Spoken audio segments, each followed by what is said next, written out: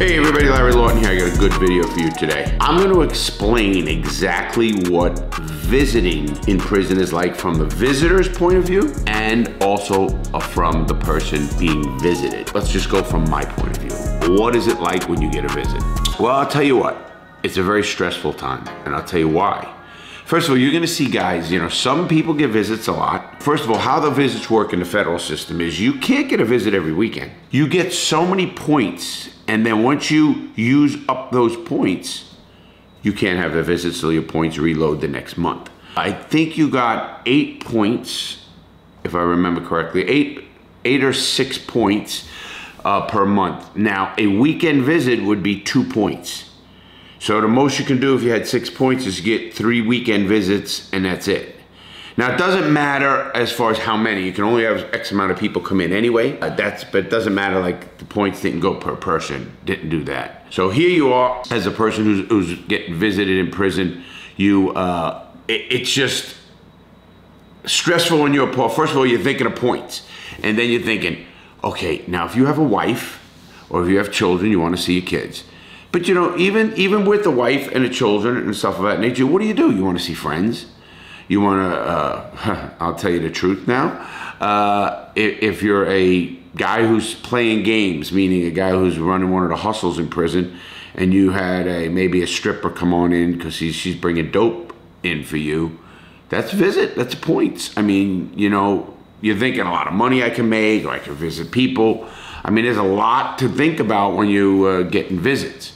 Well, I'm not going to talk about the guy who's getting dope in from prison because that, that's different because that's a whole different when that person comes in and we might know about it only a few people probably will know about it you get excited because you wait for his visit to end and you're praying you don't hear that he went to the hole because if he went to the holes he got caught. So you, you're praying he didn't get to the hole because he's going to come back with, with whatever dope they bring in and then you guys are either going to get high or uh, you guys are going to start making money in the in the prison. That's that's how it works and that's prison. But I'm talking about the regular. This is Larry Lawton, who's getting a visit, and he's getting a visit from his daughter, Ashley, and obviously my ex-wife, Melissa, and their family used to come up a lot. Now, some inmates go really overboard. They have what they call visiting clothes. You know, you get a pair of khakis and uh, a shirt. I mean, this is what you get in prison. I mean, they issue you this, and that's what you have to go to visit in. You will see guys get to the nines. I mean, pressed and tailored like you're, oh, I mean, the best you can be, man. Creases, the whole works. I mean, looking sharp, man. They, they, they go out to their visiting room and they're looking sharp. Me, I never did that. I, I could care less. I just wanted to get out there and, and see the people. And on my end, you know, here's the worst thing. Now, once you, you can't, when I was in, you could not call a cell phone. Had to have a landline. In fact, when I was in prison, a person that you wanted to call, they couldn't give us a landline. So your parents had to, to maintain a landline. Now, we got to remember, I got out of prison in 2007, so a lot of people still had landlines. So it, with that regard, it, it was pretty easy. Now, today, I'm sure you could call a cell phone, but it wasn't where you couldn't. So here was the dilemma there. Your family's telling you to come and visit. They might be driving four hours, five hours to come visiting you. Now, from when they leave their house, you have no more communication with them until you see them. There's no way to contact them. You start stressing. Let's say they say, okay, we're gonna be there in the morning. We wanna get the all day visit. We wanna be there all day. Sure enough, they're waiting. Now, now they keep calling. Now you're waiting in your unit because you know you're getting a visit and you tell the guard, hey, uh, I'm waiting for on a visit, so I'll be in my cell. I'll be in the unit, so. Because what happens when the, the visiting room will call the unit where the guy is and say, hey, send Lawton down, he's got a visit. So Lawton fucking, you know, the, the guard get, drops the phone. Lloyd Johnson, whoever it is, you know, visit. And so you know, and you get you're already ready to go. You got your ID card and your whatever you have to be dressed in a specific way, and you get to the uh, door. Guard lets you out, and you head to the visiting room. Now, once you get to the visiting room, you get strip searched. Now you go in, they open the door, strip. I mean, buck naked, lift the balls, turn around, spread the ass, guard, get through. Now, when you walk in the visiting room itself, you don't just go to your people. You'll see where they are. Now, they've been assigned a seat. They've been assigned an area right here. Now, in the penitentiaries, you couldn't sit next to each other. That's another thing. And by policy, you got one hug. You could hug your wife, and after that, you're not supposed to touch him.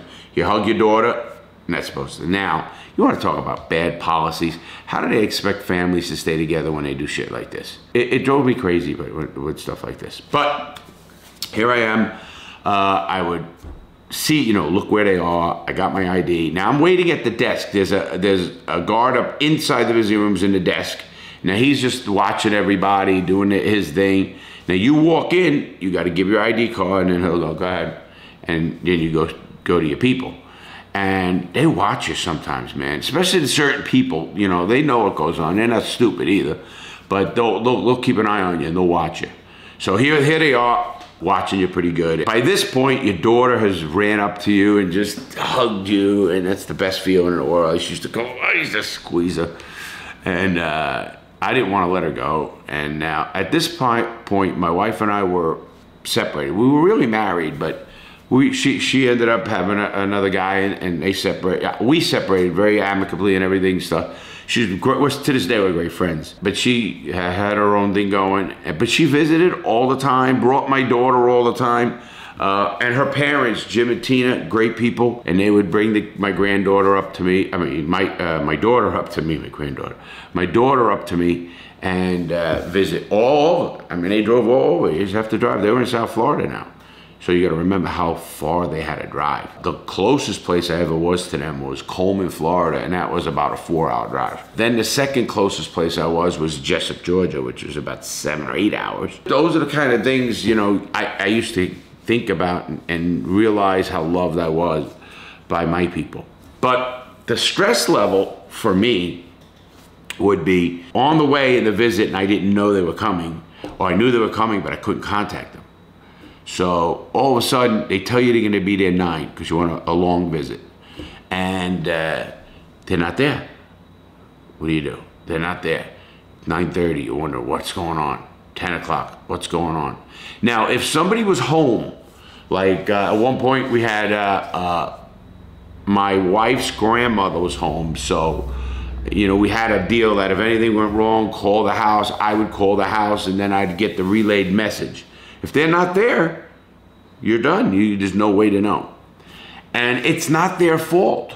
They could have been there on time, and the prison don't give a shit. The prison brings the people in as, as they say fit. Now, I know a question is going to come, and I'm going to answer it right now. What do I do if the visiting room is so crowded? Because there is a, a fire code, and they can only let people in so long. So how they do that is the people who are there the longest will go back and then they'll close their visit down. So if you get a visit from first thing in the morning, nine o'clock, now visiting room used to close at three o'clock. So if, if it's people waiting by noon and you've already been in there three hours, four hours, they're gonna say, Lawton, 15 minutes, 15 minutes. So I got 15 minutes. Man, you man, you just bitch, your people just drove for, you know, 12 hours and shit. Now, what I used to do when they did this, they would come up and I would have uh, them come the next day too, Saturday and a Sunday, because you can do that. You had points, remember. You had six points, so two points per weekend day.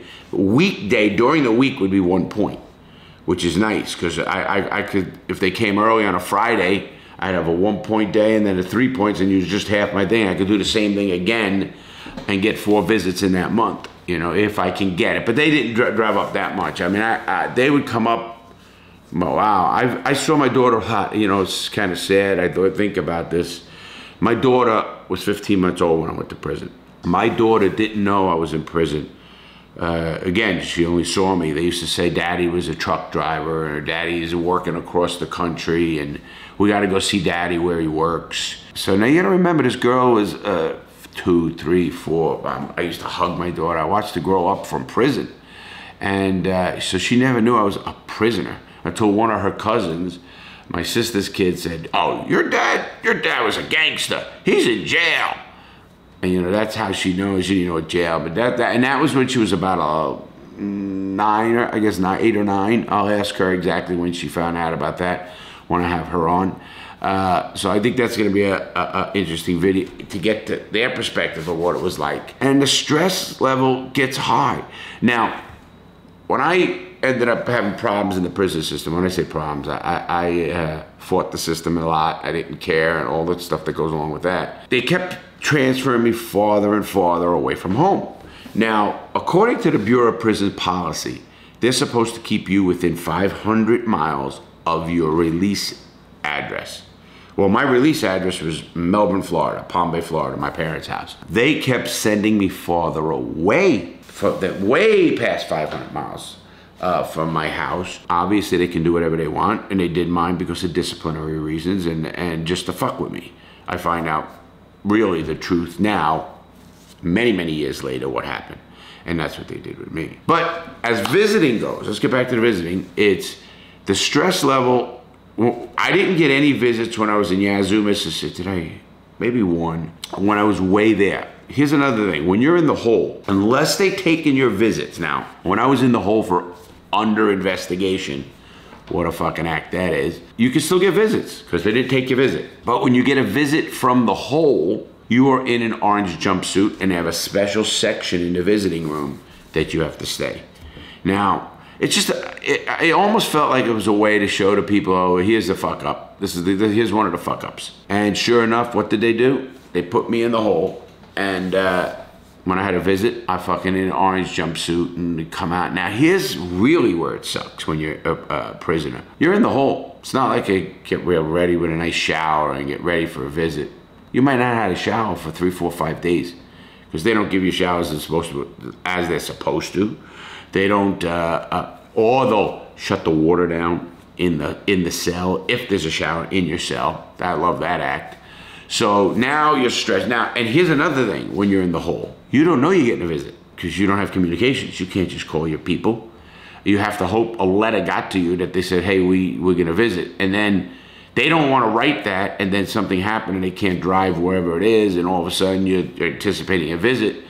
It was the worst. I used to say to them then, write a letter, say, listen, I'm in the hole. Don't visit, please. You know, I mean, I don't want you to stress. I'm stressing. I stress. Now they stress.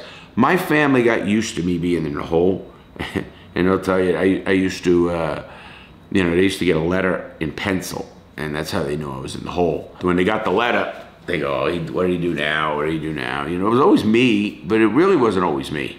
I mean, now they know. Now they know everything that happened. But I look at it in, in that in that crazy light that says, man, the stress of these visits. I, you know, I didn't do it, man. You know, it, it, and you know, it's amazing. I'm so lucky I had such a great family. My ex-wife and daughters and their, their people and my dad and mom. I really had the greatest family in the world because they didn't just always come to, what do you do now? Oh, he's bad. They saw what was going on. They saw the, the, the, the, the nastiness of the prison system. They all could attest, and they'll tell you, and in our next video, they're gonna tell you how bad the system is, even to them. My first ex-wife, my son's mom, visited me in Schuylkill uh, uh, prison, and she had a pair of pants on that were just too close to the color, and they made her go to a Walmart and pick up another pants or deny her visit. I mean, you're talking women's pants and all this, and and uh, she, you want to talk about stress out now, and I, and then I'm stressed out because now again I'm waiting for the visit. Why are they so late? What's going on? I know they left. I know everything. Did they get in a car accident? And you stress, stress, stress. You know, if anything else, the prison system puts years and years of fucking stress on you, just in the way they do things, just in the way they handle you, the way they handle uh, people. The, they don't give a fuck and we all know this. I hope they've changed things, and, and I'd love to hear that they've changed things. Not a chance in hell. Everybody that gets out, I ask them, hey, what's changed? Nah, ah, fucking shit's nothing. Just get worse. They're fucking taking this now. They do this, you know, uh, everything they want to take, take, take, take, take, because they figure out the less they have, the less shit we got to do. That's actually how they think. Believe it or not, that's how they think. But, so the visits for the inmates, very, very stressful.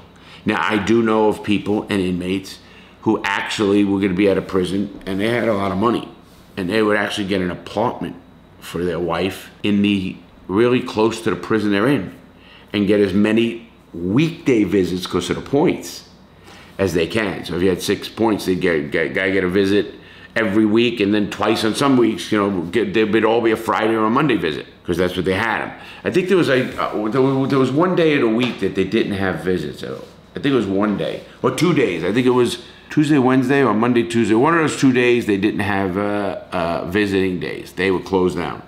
In every prison they did that. We, I, there was one. I gotta say, there's some cool, cool guards that we had uh, when I was in Jesup, Georgia.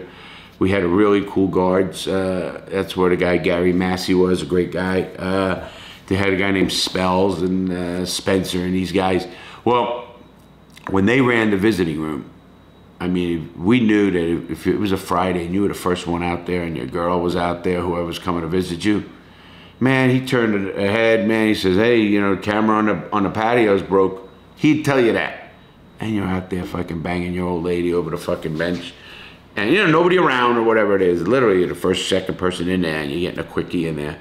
Uh, and boy, you know, it, it, it's crazy. You know, uh, people, a lot of people did. I didn't do that. A lot of people did that. I used, I used to cover for people. You know, you'd be out there, and the guys say, "Long cover for me, man. See when anybody coming," and I'd be over there sitting with my girl, and he'd be in the corner, you know, get, getting uh, getting a little, and uh, you know, I, hell, I used to get a hard on. I'm a voyeur anyway, so I'm watching, but uh, it, it, was uh, pretty wild. So, but for the most part, I wasn't a visiting guy that needed visits. I needed, you know, I used to, my dad used to visit all the time when I was in Coleman, Florida. It was about two hour drive from Palm Bay, Florida. Uh, Coleman, Florida. And my dad used to visit all the time during the week uh, with another guy, actually one of my friends in prison who passed, and uh, that wasn't a stressful time at all. I was getting visits all the time from him, and uh, I used to have to say, Dad, you can't visit this week because uh, uh, Missy's coming up, my wife, and my daughter and, and coming up, and I need the points. You know, uh, so you had to make sure you had the, enough points because they wouldn't care. Now, I have seen it where in a prison where they give you a special point, so the, the you know, I something happened, somebody died, something going on, and and you say to them, hey, listen, I need a couple more points. My grandmother's out of town from uh, Italy or uh, wherever they're, they're from, and uh, I lost the points because we didn't know she was coming in. Can we get a special visit? And they, they would do that. I, depending again, Lawton after his incident with Tubbs didn't have a chance. Didn't get get shit. That's just the way it happened. It didn't get shit. So uh, I look at it that way. And uh, but visiting in prison, I'll tell you what, guys, stressful. From the prisoner's point of view, very stressful. But I hope you got a perspective of this. Now, on the next part, it's going to be from their point of view. I'm going to have them in front of me right here. We're going to do a video with them, and they're going to tell you how it was from their point of view. And I'm going to think it's going to be very interesting. It's not gonna be next video, it's gonna be next Sunday. Next Sunday's video will be that. So it'll be a lot of fun. Anyway, everybody, you have a great day. Enjoy your Sunday. Please be safe. Make good choices. Have a great day, everybody. Stay safe.